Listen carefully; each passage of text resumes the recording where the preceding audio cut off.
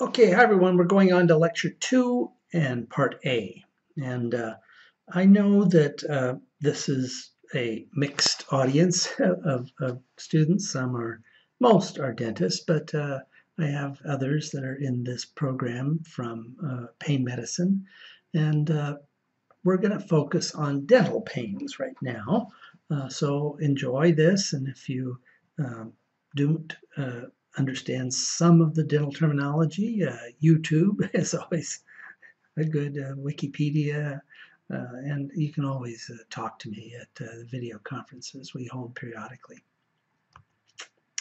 All right, so and and let me also say that what I'm going to cover here applies to all neuropathic pains. Now, you don't normally do root canals on patients, which is pretty strong pain, uh, but it, it, provides insight as to what happens to the nerve in a neuropathic pain condition. Uh, the, the, and I think the dental model is excellent for understanding this. So why can't I get the tooth numb? And uh, so neuropathic pain in the orofacial region, I, have published a number of uh, sort of review articles in the California Dental Association Journal. The two on the right are uh, neuropathic pain uh, issues and one about pharmacology of neuropathic pain. And then I have a textbook on guides to medications and management uh, uh, with my colleague Ray Dionne uh, that we published a few years ago. So uh, that's some good material. Uh, what are we going to do here? We're going to talk about anesthesia problems, buffered lidocaine, nerve receptor changes, and phenotypic changes. Uh, so hopefully you'll enjoy this part of the lecture. Now, Gone to a dentist, they numb you up. It's not numb. Stop drilling. uh, why isn't it numb? That's the question. Uh, well, there's anatomic, psychological, and pathologic uh, causes, explanations. Let's go through them, and, and obviously I favor the pathologic one. There's a most common explanation. Well, uh, one, you could have given the injection in the wrong place. That's certainly possible. Two, there could be the nerve is in the wrong place. There's a slight degree of variation in the position of the nerves, but not much, not enough to really explain all the cases we see. Um, so that's one explanation. Another is, oh my gosh, we numbed that nerve, but it's still not numb. Must be another nerve that comes into the area. Accessory nerves, long buccal coming up uh, this way, uh, mylohyoid up from underneath the uh, jaw uh, muscle, uh, temporal and upper cervical muscle nerves that supply the under part of the, the chin area.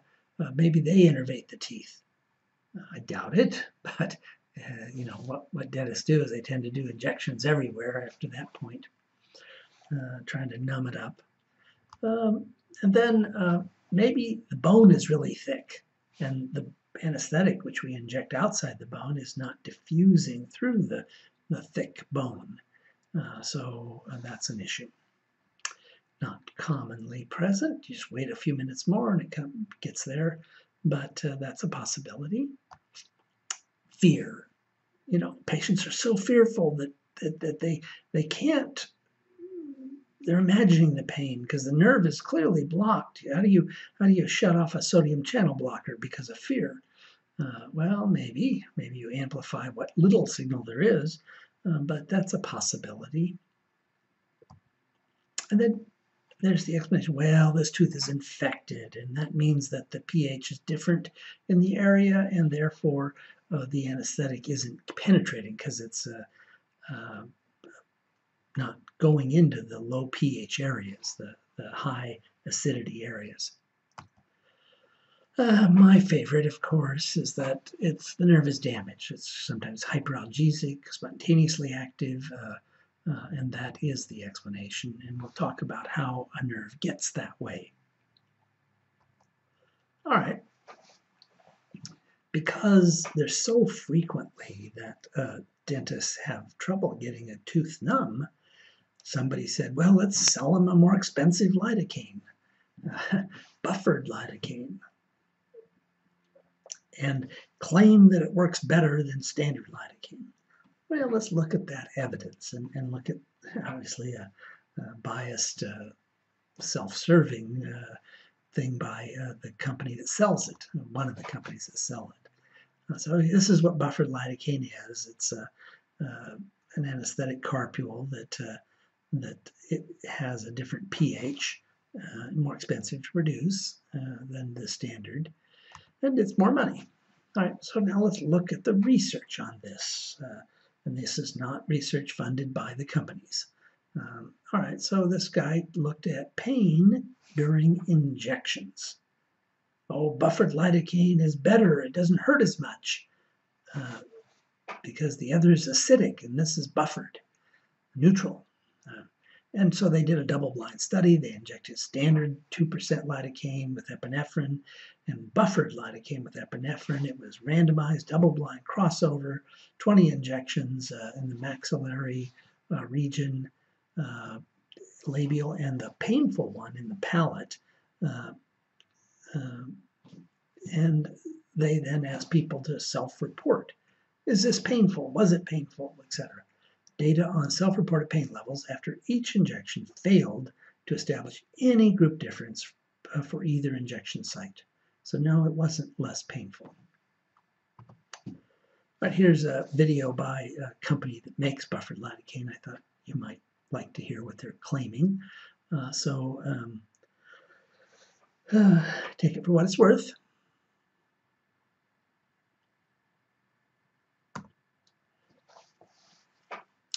All right, you're back. Uh, let's talk about whether or not um, post-operative complications after the procedure, the buffered lidocaine caused less harm to the tissue because it was buffered and the other was more acidic. Um, so let's see if there's any difference there. And again, they did a randomized uh, uh, study and they um, we're doing eyelid surgery. So was buffered lidocaine worth it? Was the extra expense of buying that worth it? Obviously, if it was the same expense, just use it. Whatever you want, as far as I'm concerned. But if it's two times more expensive, you have to think about its efficacy. Um, so they said no significant differences in postoperative pain, swelling, or bleeding for the two groups and a non-significant trend to cause less pain on injection, but um, the other one was obviously the same thing in the mouth, and they saw no difference. All right, here's another study. And they did a prospective randomized double-blind study of anesthetic efficacy of Luff buffered versus uh, standard lidocaine for a nerve block, where your chin goes numb and your lip goes numb, mandibular nerve block. Uh, and they did that, and they did it two different appointments, one week apart, and then they tested it with a pulp tester, electrical stimulation of the tooth. And they did four cycles for 60 minutes of, of testing all the teeth, well, at least the first molars, second molars, premolars, laterals, and centrals on the side that was anesthetized. And uh, essentially, buffered lidocaine produced analgesia um, range from 10 to 71 percent. The unbuffered lidocaine produced successful, zap the tooth with the electrical stimulator um, without pain, 7 to 7, 10 to 72 percent, exact, almost exactly the same. And they said no significant difference in the anesthetic efficacy of these two formulations. It was not faster and did not produce less pain. So, do you believe the manufacturer? Eh, at least for healthy teeth, and these were all healthy teeth, um, the buffer light, you know, and they did blepharospasm, uh, there was no difference. Now, we didn't have a study that looked at the um, buffered lidocaine agent infiltrated in an infected tooth where there might be a pH difference from the infection, a periapical PAR, periapical radiolucency um, that uh, is a sign of infection. And that study hasn't been done. But, so, but I'm still doubtful. I'm still doubtful that it, it matters. Um, that's the issue. All right, here's another question. Um, what are the nerve changes? I said before, remember I said I thought it was a nerve damage. What are the changes that make it harder to anesthetize a tooth or, or any neuropathically injured tissue site? Um, well, we have to go back to sodium gated or voltage gated sodium channels. And normally there's a uh, sodium channel that is called a voltage uh, sodium channel voltage 1.3. That is the most popular, commonly uh, inserted protein along an axon that allows sodium in and out.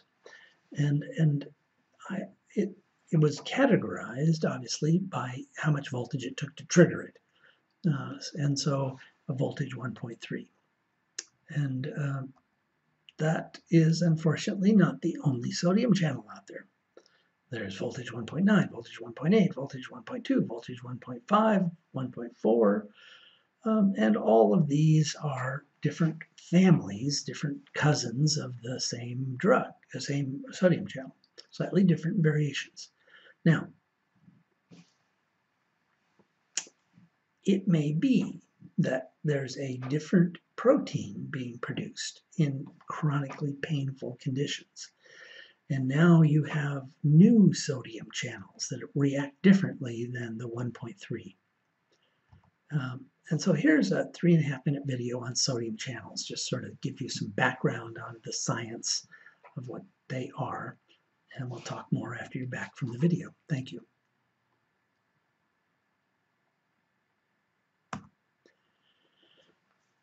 I mentioned here, uh, that I mentioned before, that uh, sodium channels are ca categorized by how much voltage it takes to open it 1.1, 1.2, 1.3, 1.4.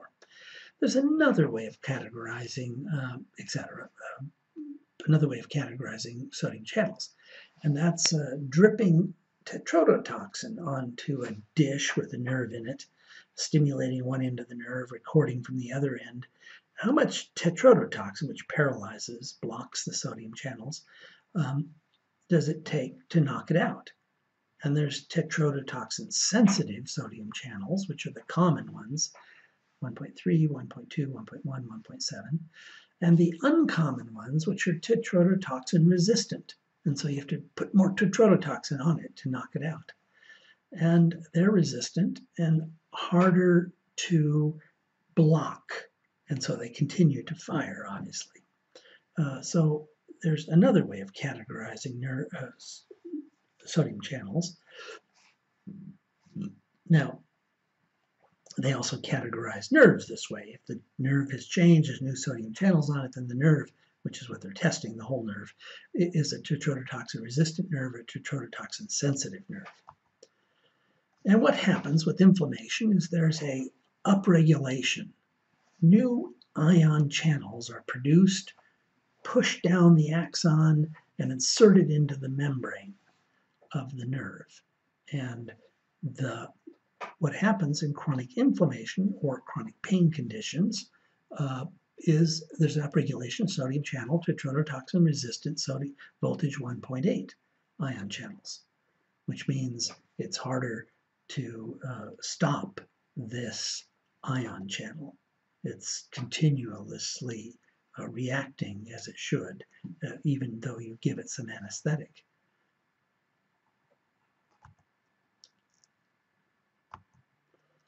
And this guy back in uh, 1999, now that would be 18 years ago, uh, Dr. Uh, S.G. Waxman said, gosh, neuropathic pain following injury or inflammation is due to sodium channel gene expression changes. So the gene that controls these proteins that become sodium channels, um, it changes what it does. It produces a different sodium channel. It goes uh, protein, it goes down, inserts itself, and now the nerve acts differently. And that was his theory, upregulation of, of these altered sodium channels. Um, and here's a, a video on long-term DNA changes. You know, that DNA changes can be substantial. It's not that the DNA itself changes, it's that the that the DNA uh, molecule um, has changes on the outside, things bind to it, and that's called epigenetic changes. Um, and so that happens. And so here's a video on it.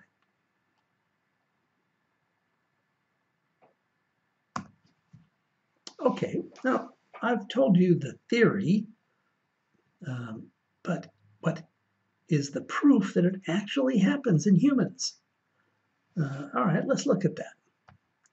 Well, uh, Dr. Renton is a neuroscientist in London, looked at pulpal tissues in painful, chronically painful teeth. You know, you can go in and, and either pull the tooth and look at the pulpal tissue in an extracted tooth, or you can actually pull out the pulp from the tooth and look at it in a dish. Uh, and, obviously uh, stain it for uh, various um, sodium channels. And they have stains that will bind to uh, sodium channel voltage 1.8 versus other sodium channels. And so they did this and they, they compared normal teeth and painful teeth.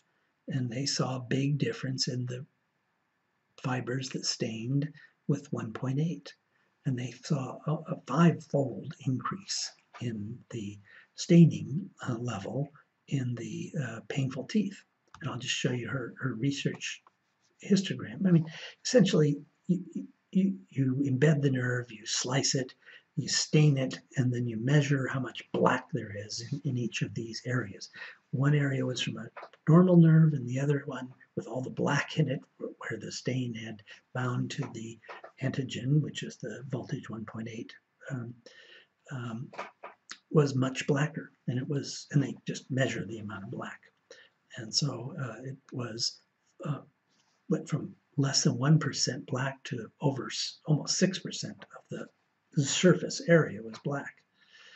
And that's a big change. And that means there's more voltage 1.8 sodium channels in the painful tooth. Now, that's one study. There's been another study. And here they again took out pulpal tissues from teeth. Some were painful, some were healthy, and, and they stained them uh, using a slightly different method, but they saw the same thing, a six-fold increase in the relative density of sodium channels voltage 1.8. And it just says, hey, there's an epigenetic change going on, phenotypic switch in how that nerve, um, how that uh, cell body of that nerve is, is acting. It's producing an odd sodium channel. And that's just their data showing the, the various um, measures that they used in the healthy and the unhealthy or the um, inflamed pulpal tissues. And again, six-fold increase.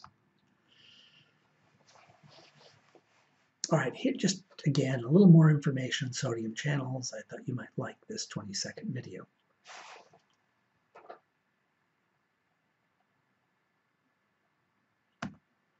We'll take questions here. And we'll end this part of the lecture and continue it in part 2B.